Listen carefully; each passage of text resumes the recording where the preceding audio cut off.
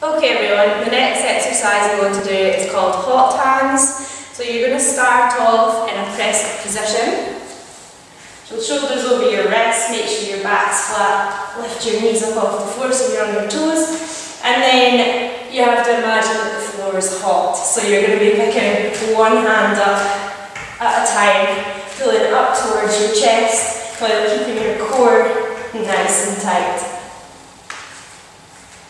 and that's hot hands.